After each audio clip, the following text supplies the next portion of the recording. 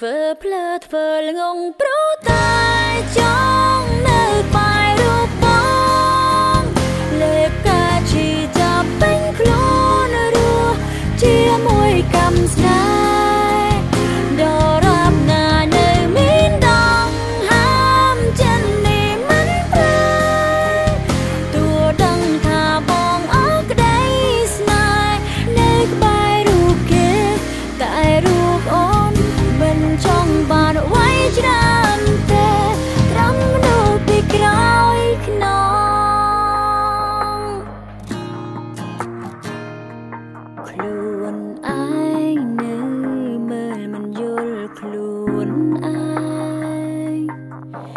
មិនមែនគេធ្វើសំដែង គឺគេសំបាយត្រង់ត្រ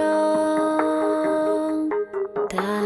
ខ្លួនឯងនៅធ្វើក៏ធ្វើថ្លង់ដឹងថាជឿហើយក៏លលងងព្រោះមិនចង់បាត់បង់គេតែមនុស្សប៉ុន្មាន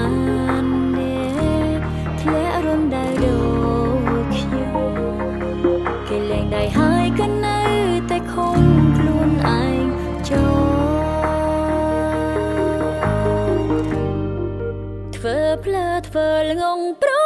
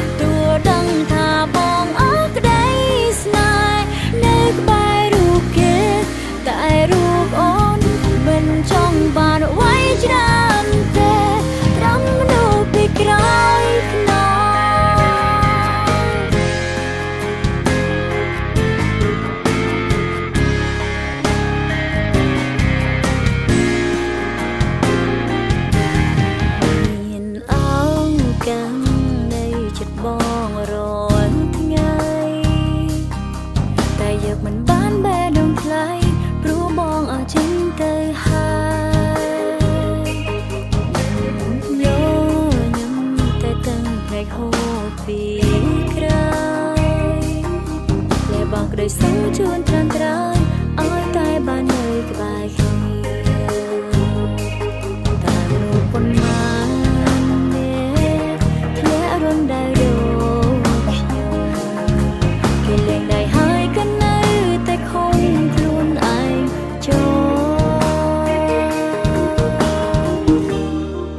ធ្វើភ្លើធ្វើល្ងងព្រោះ